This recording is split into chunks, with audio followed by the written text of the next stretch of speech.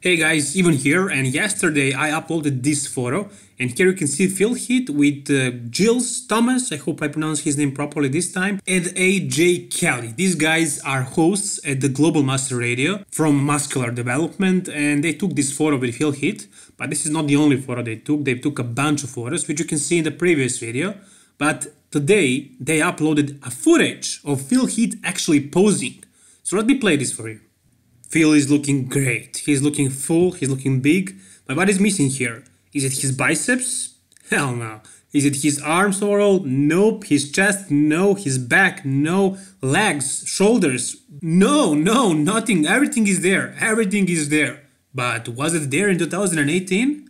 As far as I remember, it was. But what wasn't there in 2018? What was the only reason why Phil Heath lost his title? It was a good normal stomach. Can we see his stomach now? We cannot. We cannot. What does it mean? It means that his stomach is probably still the same. I'm not really sure if Phil Heath is aware of his problem. I think based on all the interviews that he's done, he thinks that he lost because he wasn't a good bodybuilder, because he wasn't full enough or shredded enough, mainly not conditioned enough which may have been the case, but he was still more muscular than Shawn, and his conditioning was good enough, and he would win if his stomach was fine. But it wasn't, and that's the only problem that he has. Especially today, I mean, after Louis Marco and all that drama with him and Bubble Guts, everybody's hating big stomachs now. Nobody likes a Mr. Olympia that has a huge bubble gut, quote unquote. And listen up guys, bodybuilding, it's a business, it's just a business. For us, it's not, we love it with our soul, we're passionate about it, but for Jim Manion, it's just a business, he doesn't give a damn. It's just a business for him, and what makes good business today? Definitely not the big stomach, definitely not the bubble gut. In the 90s, when the era of bubble gut started, nobody was paying attention to it. Everybody was so blown away with the mass and the conditioning that bodybuilders were able to make. Then, in the early 2000s and pretty much the whole 2000s, it was frowned upon, but it wasn't really as hated as it is today. Today, it's the most criticized thing. Everybody's talking about it. And look, if you're a million times better bodybuilder than the other guy, you will not lose simply because of the stomach.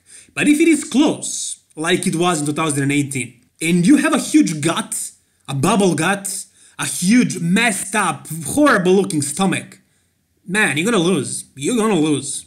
Phil Heath is probably never gonna even hear about his channel, let alone watch this video, but if somehow it happens, and also I know I'm not an expert, I'm just a 23 year old who just likes to talk about bodybuilding, but it's so freaking obvious, it's so freaking obvious guys, tell me in the comment section below if you agree with me, but it's freaking obvious that that's why he lost. So Phil, if you're listening, fix the stomach. Fix the stomach and that's it, you're gonna win again. That's the only thing you need to do. And you don't have to make it perfect. It doesn't have to look like a men's physique competitor. Just do a vacuum. Surprise us all, do a vacuum. Just learn how to suck that stomach in while you're doing your poses and while you're transitioning the poses as well. And just come in with a tight stomach. Just learn how to control it.